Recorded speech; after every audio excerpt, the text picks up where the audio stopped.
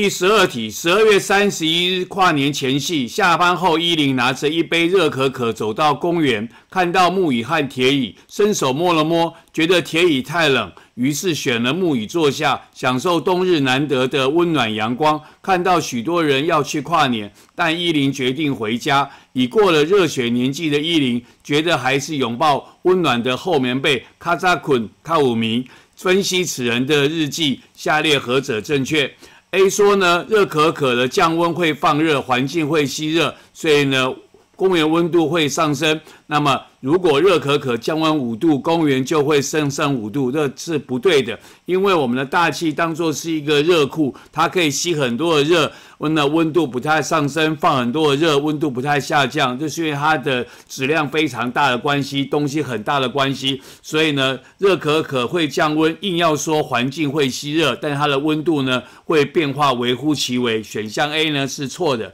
那么选项 B 说铁椅和木椅的温度是相同的，这个。是对的，但是因为呢，铁的比热比较小，所以容易降温，所以摸起来比较冷，这个是错的。那是因为呢，铁的传热比较快，所以它会把热很快导出去，所以你摸上去的时候会觉得它比较凉、比较冰，所以选项 B 呢是错的。选项猪说呢，啊，空气是热的不良导体是对的。他说厚棉被因为有孔气塞满空气也是对的，而能够保温发热。若拿厚棉被包住冰块，将会加速融化的温度，这是错的。因为呢，我们这个。空气是不容易导热的，热不容易进来，也不容易出去，所以呢，它可以保热，也也可以保冷。冰块放在里面，外面的热量不会进来，它就会保持它的冰块的温度不上升。所以选项猪是错的。那么只有选项 C 呢？关于三，阳光的热传播方式是辐射，这个是对的。那么阳光的热量主要是靠着辐射呢传到我们地球上来。所以呢，第十二题问我们说，